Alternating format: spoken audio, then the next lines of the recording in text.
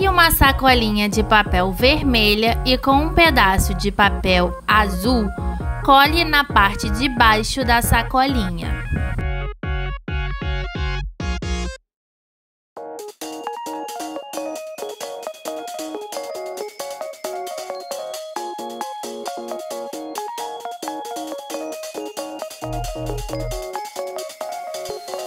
Cole estrelinhas brancas na parte azul e depois pegue um molde do símbolo da Mulher Maravilha e faça o contorno com uma caneta preta.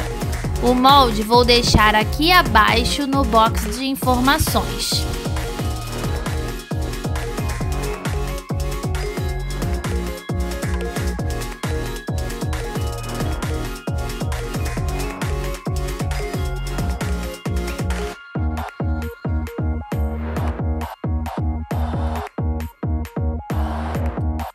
É isso, pessoal. Espero que vocês tenham gostado da dica de hoje. Não esqueça de se inscrever aqui no canal, de curtir e compartilhar esse vídeo. Um grande beijo e até o próximo. Tchau!